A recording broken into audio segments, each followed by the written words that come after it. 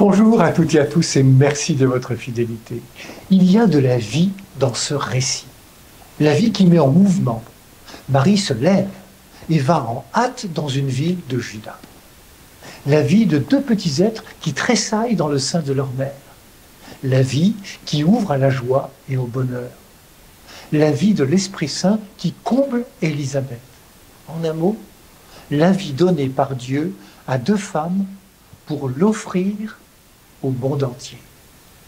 Le jour de notre baptême, c'est Dieu lui-même qui est entré chez nous, qui nous a visités. Cette visitation de Dieu nous met-elle debout, en mouvement?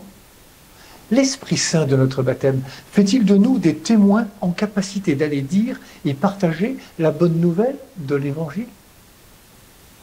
Ces enfants que portent Élisabeth et Marie et qui font leur joie, elles ne vont pas les garder pour elles. Ces enfants, Jean et Jésus, sont un don fait à toute l'humanité. Et nous, que faisons-nous des dons reçus du Seigneur et de son Esprit?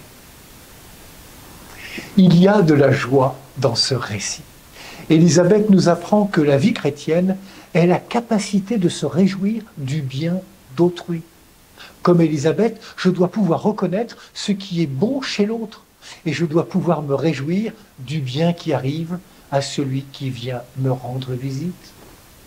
La joie, c'est de pouvoir rencontrer quelqu'un qui me dise la richesse de ma propre vie, alors même que je suis moi-même incapable de la reconnaître. La joie, c'est de rencontrer quelqu'un à qui je peux dire, et pas seulement par des mots, la fécondité de sa propre vie. Ce que tu fais, c'est bien. Ce que tu fais, c'est beau.